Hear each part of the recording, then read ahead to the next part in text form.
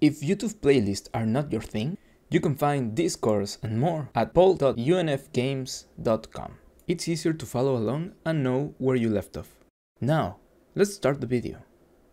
Let's start talking about blueprints.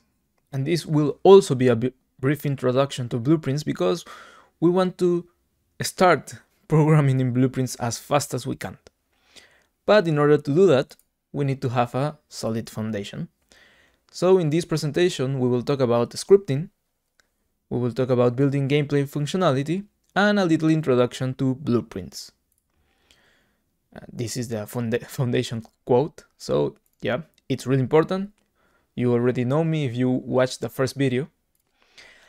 So let's talk about scripting.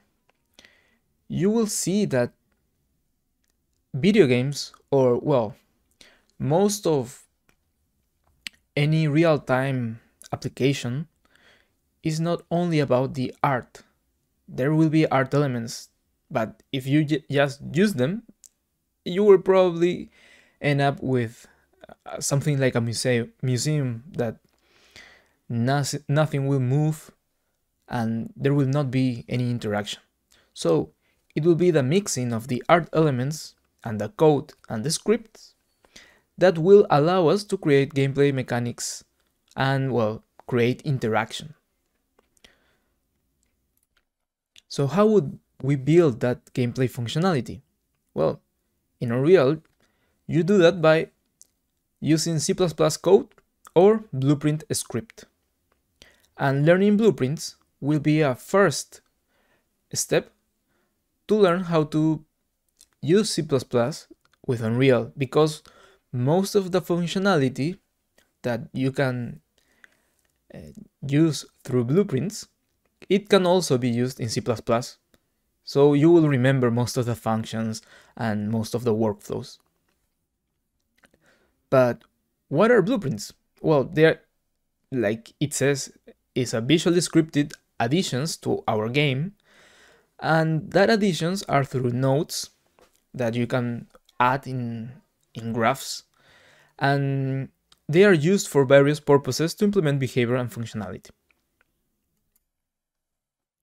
This is how a blueprint editor will look like, and this is the blueprint visual scripting system. It's called a visual scripting system because we are drag and dropping nodes. And through these nodes, they each contain behavior that we can mix and match as we like.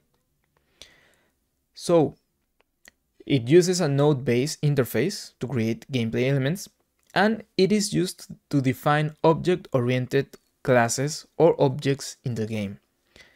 This is a programming term that it just means that we are trying to represent stuff through objects.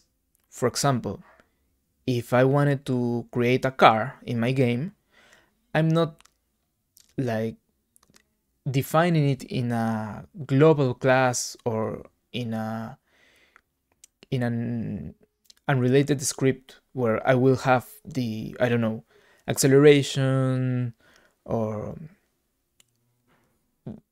if it can turn to the right or to the left. The way we program stuff is by associating functionality and behavior. So if we want a car, we need an object that represents a car. And that's why it's called object-oriented. Otherwise, all this code would not be in one class. And whenever we say class, we will probably uh, be referring to blueprints and it will be an interchangeable term like classes and blueprints. If we have a blueprint that represents a door, then inside it, I would want to store if the door is open, how fast can it be opened, and also the functionality to open it or close it if we need it, right? That, that is why it's called object-oriented. All the design is being thought as objects and how can we develop it modularly so it can be reused later. So that's a good first step. Let's get to know more about blueprints by actually playing around with them.